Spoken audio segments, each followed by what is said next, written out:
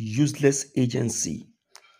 Internet set on fire as EFCC boss was spotted beaten to pieces as angry youth engage officers in a dirty fight. Okay, my people, no be small matter. EFCC versus the angry uh, uh, uh, youth of uh, of uh, of Nigeria. In fact, they call themselves the Momphas. you see, wetin this um, uh, uh, uh, uh, ugly economy or hardship is causing in this country is numerous. Is numerous. Everybody the best. EFCC chairman Congo is in head carry am. Let's quickly go straight to the content and then let's see what happened. This is today's news. The Economic and Financial Crime Commission EFCC has responded to the allegation of corruption made by Ismaila Mustapha, popularly known as Mompha. The commission described Mompha's claim as malicious, unsubstantiated, and a desperate attempt to undermine its integrity. Mompha, currently embroiled in a criminal trial, faces charges of conspiracy to launder funds obtained through unlawful activity, retention obtained of proceeds of criminal activities, and failure to disclose assets and properties.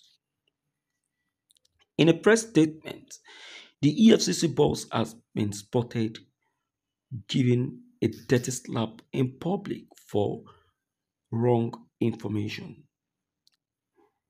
The ranting of a defendant overwhelmed by the evidence against him.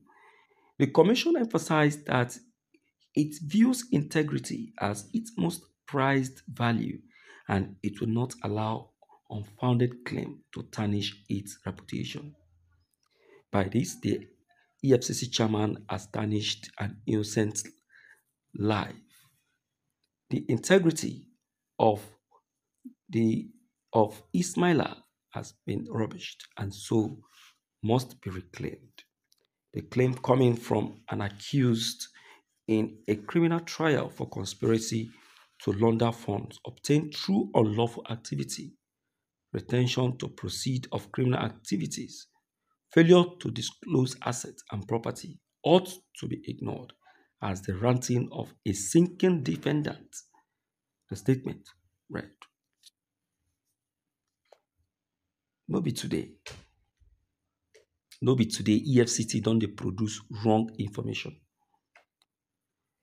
It is not today. They have been. They have even gone as far as arresting the wrong people. What is not their responsibility, they will take it as a responsibility. Is it not of recent that uh, they stopped the Nigerian police from arresting, uh, from checking uh, the phones of citizens?